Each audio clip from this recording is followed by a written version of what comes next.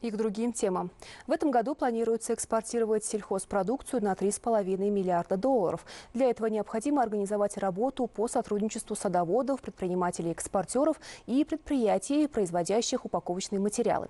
Профильными организациями проводятся изучения и практические семинары для укрепления цепочки от производителя фруктов и овощей до экспортера. Очередная встреча состоялась в Ферганской области.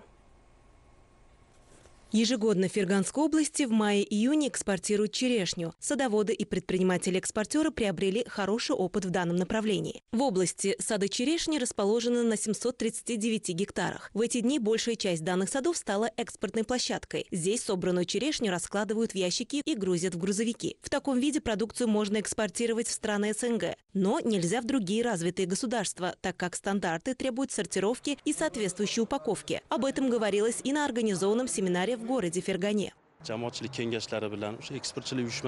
Совместно с общественными советами, специалистами Ассоциации экспортеров Узбекистана проводим планомерную работу по налаживанию экспорта продукции в страны Европы и Персидского залива. В ходе подобных семинаров мы разъясняем, какие требования есть у этих стран к продукции, налаживаем сотрудничество между дехканами, садоводами и предпринимателями-экспортерами. Сейчас ведется активная работа по экспорту черешни. В ходе семинара акцент был сделан на том, как хранить, сортировать и упаковывать созревающие фрукты, такие как черешни и абрикосы. Эксперты подчеркнули, что в данном процессе всем в цепочке от садовода до экспортера необходимо выполнять свою работу ответственно и качественно, что также поможет в экспорте продукции в следующем сезоне.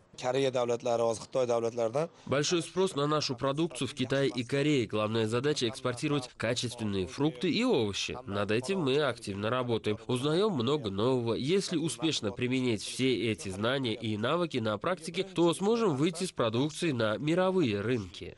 Если каждому делу подойти с научной точки зрения, то можно добиться ожидаемого результата. Экспорт фруктов и овощей также требует специальных знаний. Обучение наших соотечественников, имеющих опыт работы в сельском хозяйстве и садоводстве, производстве упаковочных материалов, соответствовать требованиям рынков развитых стран послужит увеличению объемов экспорта.